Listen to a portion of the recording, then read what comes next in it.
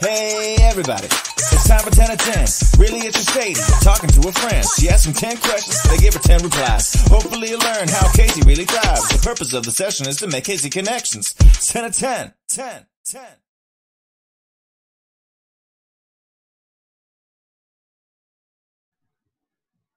We're recording. Woo! Hey, Cara.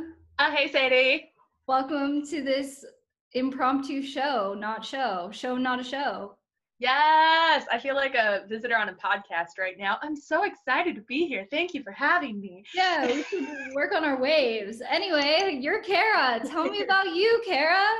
Um, okay, so I paint things. Pretty much anything anyone will pay pay me to paint, I paint. Um, my preferences is theater. I love painting for opera, drops. Um, I like goopy dramatic, ridiculous stuff. The bigger and more ridiculous, the better. Um, so when I'm not in the theater world, I like to paint murals, bedrooms, um, warehouses, walls of literally any building. Um, so yeah, I mostly just really like to paint things, and I'm currently the charge artist at the Rep, and I love it. So before this, I was down in Houston for a while, and before that, I was out in North Carolina. I grew up in Kansas though, so I'm kind of back home. So that's the short version of Cara. So Welcome, welcome home. thanks. So, here are your questions. Okay. Question number one What is the weirdest thing you've ever painted? A whale's uvula. Oh my gosh. Was it like life size? It was it was beyond life size. It was for my son Pinocchio. So like we UV the drop. So like the drop was the whale's like what's the part of your throat that's not a uvula? Like the the swallowy part was the full 60 foot drop. And then we painted a giant uvula that just hung there. and spraying the bottom of it was super weird. And I got it, it was it was as weird as you would think that would be. Yeah, that's definitely weird. Number two, how did you become a painter and when did you first realize that it was going to be your career? So I first painted something big. I painted a mural at the football field on the press box my senior year of high school, and it was super fun. So then I was at a very small school, and we didn't have theater until that year, basically. And so we built a set for the first time in well over a decade. We had a backdrop, and I then because I'd painted a mural, obviously I could paint a backdrop. And so I did that. And then when I got to college, I embellished my carpentry skills enough that I got a job, a work study job in the scene shop. And we managed to get everything built, but then no one else wanted to paint because paint is like smelly and gross and like gets everywhere. And I was like, oh my gosh, guys, I'm such a good painter. I painted all the time in high school. I think it's really fun. I can do this. Plus, it's like way less awful than building things.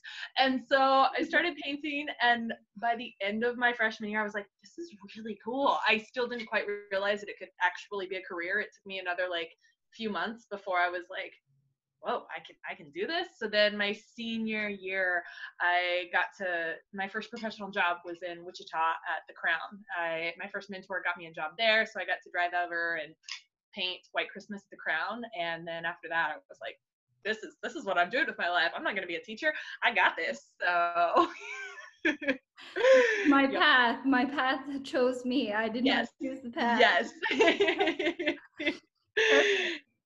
Okay, number three. This one's a little harder. Okay. What what is a piece of art that most people probably don't know about, but we should know about it and why?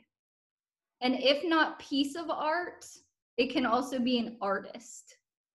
Oh, oh my gosh. This, I'm gonna give you a terrible answer because I I cannot for the life of me ever remember this artist's name. So you all will have to use Google to figure this out, and We'll it's like a Google little it. treasure hunt. There is a muralist who does all of their work in charcoal, like sides of elevators, full building walls, like brick walls in charcoal. And so it eventually just like years later, sometimes more, sometimes less, it all just washes away. And they do portraits And so they're these really incredible, like very lifelike, very realistic black and white portraits of people. And then they just slowly like get washed away. And it's, I just love it so much because they're big and they're dirty and they're imperfect, but they're just so realistic. And then, like humans, they just kind of slowly start to weather away, but they're gorgeous still after they've gone through years of getting all beat up and raggedy and weather and beaten, and they're still beautiful and they still have this incredible story. And I just love them so much. So interesting. It's like becoming be- part of the earth again. I like that. Yeah. Yes. I like that hippy dippy Oh yeah. origin oh, yeah. story oh, Yes. of art. Oh yeah. Okay, number four. Who inspires you? Okay. I didn't say these questions would be easy when we started. I know you didn't. Oh, and this was such a quick left turn from artists. Um, let me think. Okay, the super, this is gonna sound a little bit cliche probably, but of course, the first person who popped into my head was my dad. Um, my dad was a theater major who was went to school on a football scholarship. And so when i was a little kid i would like hang out at football practice and play practice and then like also in his english classroom. And so just this incredible he's he's worked in education his whole life and he's just one of those people who every single one of the students who walked through the door no matter how horrible and how obnoxious they were he really and truly like looked for the best in that kid and loves every kid he's ever encountered, even the ones that he wants to hit on the back of the head. And so just growing up with that that love of people and love of people's stories and also just the embracing he's like I said, he was a football coach who married a musician who directed shows. And so my whole life, he, I've just always been surrounded by literally everything. And whether I was out playing baseball or sewing doll clothes, they were all like super embraced and loved and supported and just he's so stinking good at that.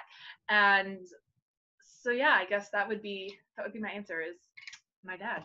So yeah he, he was very much the oh my gosh my daughter is obnoxiously independent and just basically ran away from home because she decided she wanted to go do this. Well I can't be mad at her because that's really cool, but also like, can you let me know next time? But so he's been super supportive of everyone, especially me, my whole life, and all of the ridiculous ideas that I've ever had. He's helped me move across the country more times than I care to think about. So you want to think about in mileage or in gas. yeah, no, sorry about that. Love you, Dad. Uh, Okay, number five.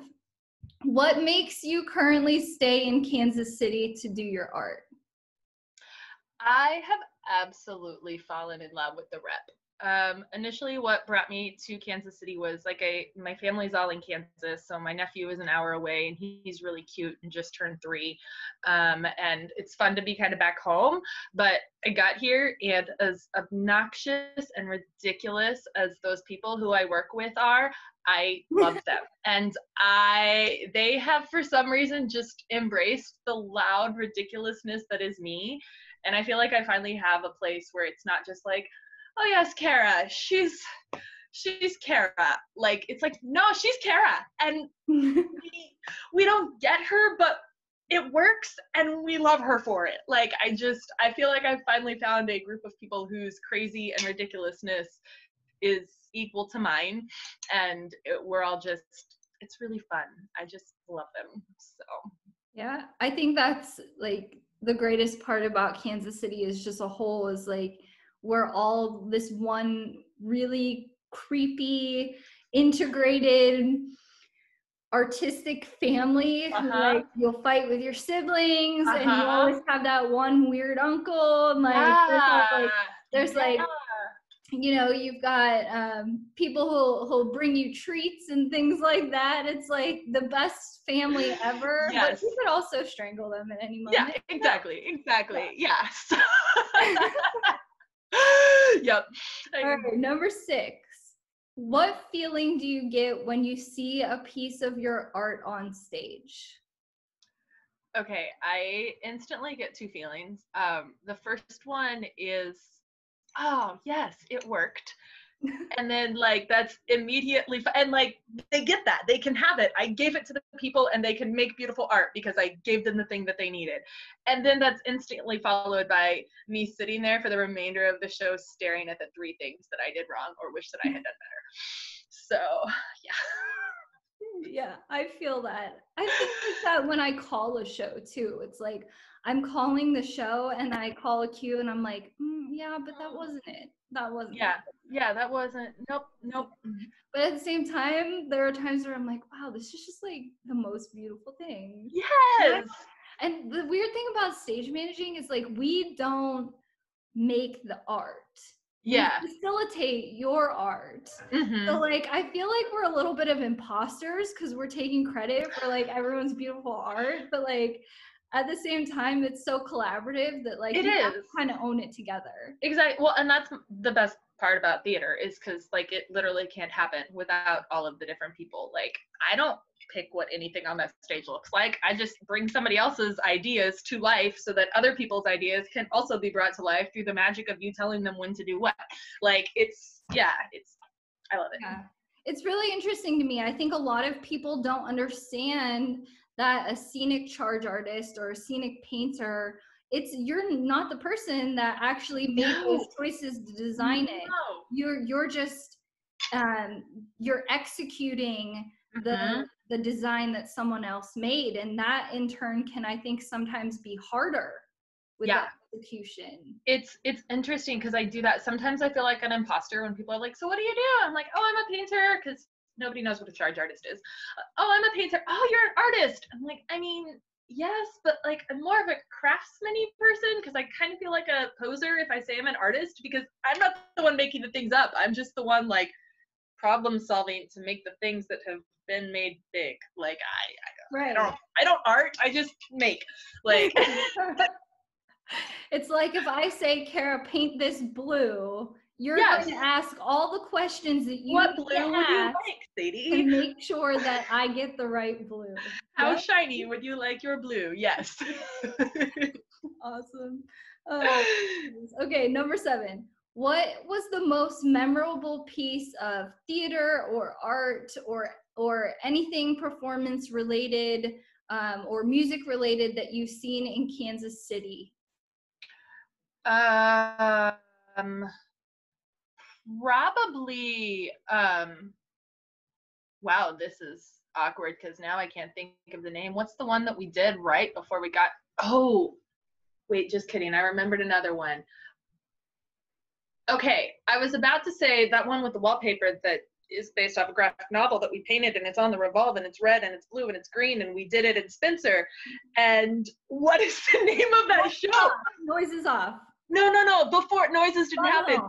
Fun Home. Okay, I was about to say Fun Home because like it was just it, it just everything came together so well and like I just I thought that that show was great and I love watching anything Lisa directs. Um, but then I remembered Frankenstein, which I had kind of forgotten about because that happened and then I went home and started drinking uh, because we all got sent home.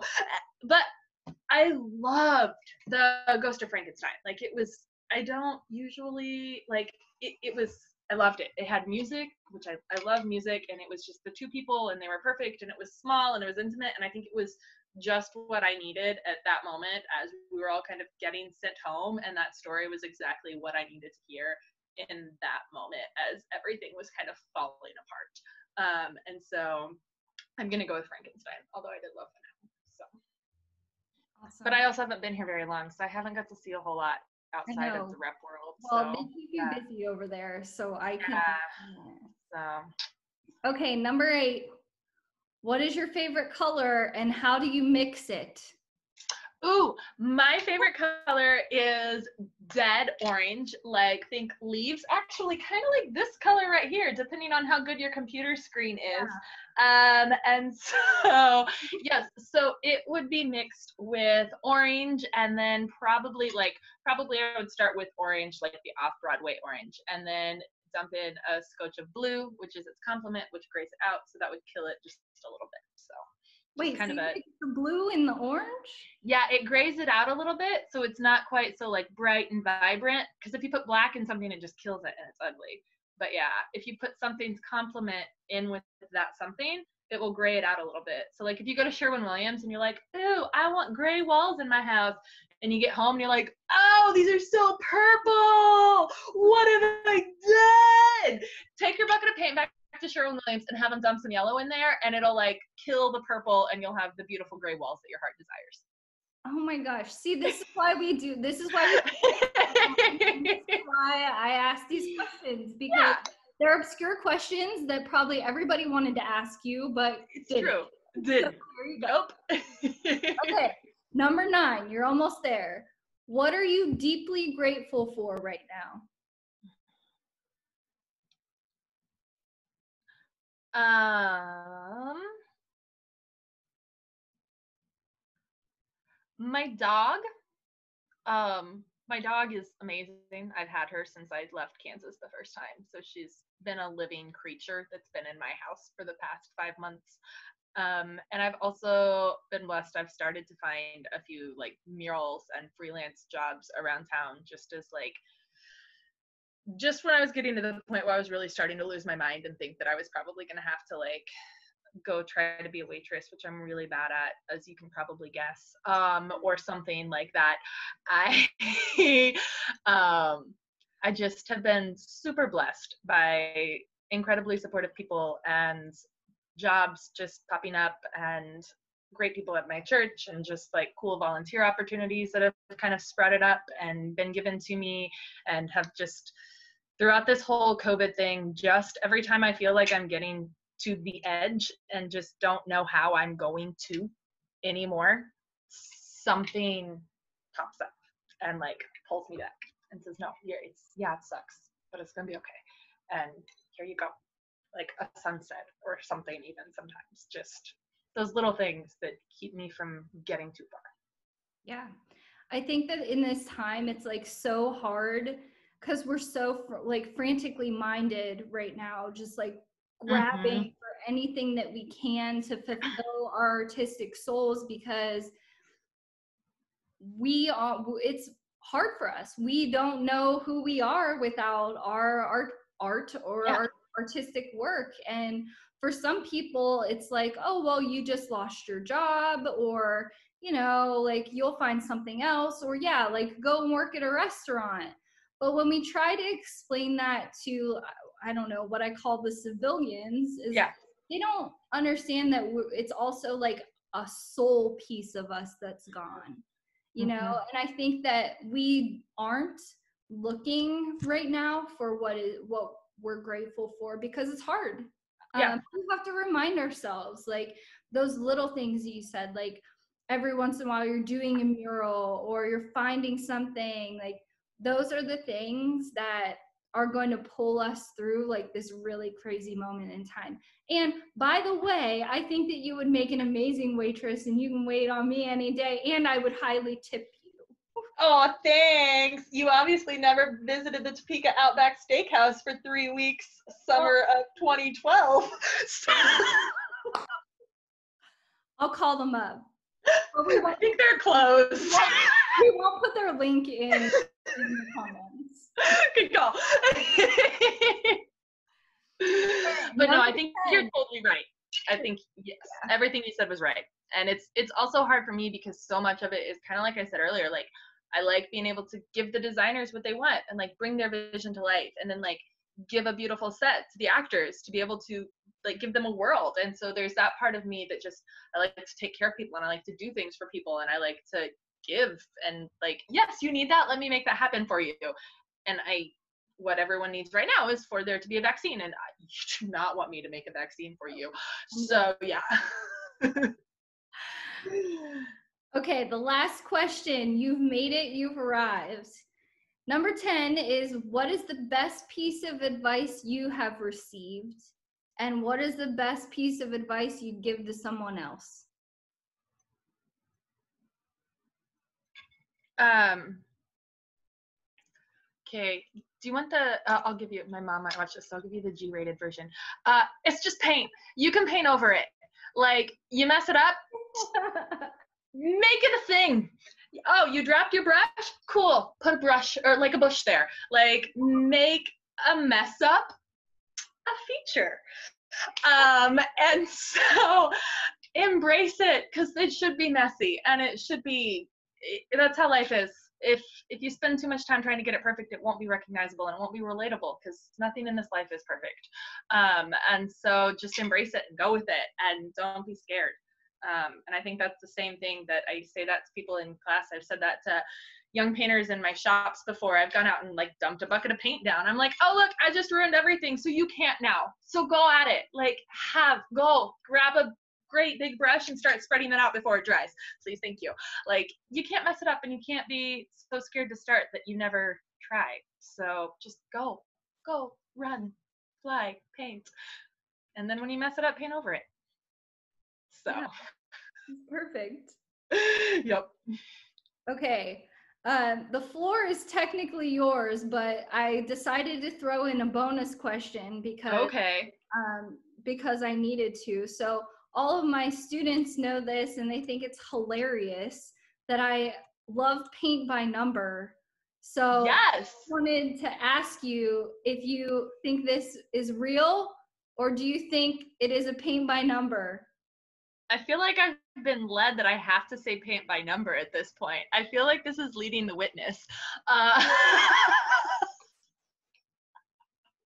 Good, yeah, because I painted by numbered it. That's awesome. That's you can paint a drop now because that's literally all painting a drop is is a I giant know. 30 by 60 paint by number. Yeah. I think, I think that's why like I I you know, that's my future. I think I'm just gonna start painting by number. Oh yeah, do it. Yeah. Okay. The floor is now yours, Cara. Would you okay. like to plug anything, talk about anything? What what is something that you're passionate about that we need to know? Oh my gosh, something I'm passionate about that you need to know. I feel like here's I had a really great answer for this when you warned me that this was going to be coming, and then you distracted me with 11 other questions. I know. Um, what was I to say? It was such a good answer. Um, oh, okay. So here's something I'm passionate about, and I've I've noticed that more people are doing it, and it's awesome. And I think that we need this is something that has changed because of COVID, and we need to just like go with this. I was at a coffee shop the other day, and there were no computers and no cell phones. There were people talking and people reading books. And somebody said hi as I walked by with my dog. And I think that this time that we're in right now is such a great time to make the say hi to the stranger that's six feet away from you at the next table make it normal to talk to people again. Like we don't have to meet people on the internet. Like make a friend in line at the coffee shop because you like the book that you're they're reading or you overheard something that they said and you can say, "Oh my goodness, burnt orange is my favorite color too." Just uh, start talking to those people because especially those of us who are not necessarily like living with families or seeing a lot of people right now, we're just we're craving interaction with humans and it's I think especially just kind of in this crazy world that we're in right now, the more you can connect with somebody, you may find out that you're totally different in every aspect. But that could be a good thing because they could learn something from you and you can learn something from them. And just little by little, little acts like that are how we're actually going to make like a change that can be sustainable for the next you know 100 200 years until i die and so i think just that's what i am passionate about is say hi to the person who's six foot away from you and don't be scared if they look scary or if they look different than you because they're not any of those things. You look scary and different to them. And so say hi whether it's a farmer looking person in a pair of overalls or a crazy artist looking girl in a pair of overalls or like somebody else in a pair of overalls. Like you can also talk to people who don't wear overalls but those that's that's what i'm passionate about. And then if you're super bored sometime my website is cara spencer paint. And so you can peruse painting things if you're super bored in quarantine so and you yeah. want to look at some beautiful things that make you yes. happy Yes. You're beautiful and you make me happy. You're beautiful and you make me happy. This was so fun. I'm thanking you so much for coming yes. to the show and answering all the questions. And we'll post the links that you have uh, in the chat or in in the below or wherever we post them. Wherever it goes. Brilliant. Thanks, Cara. Yes.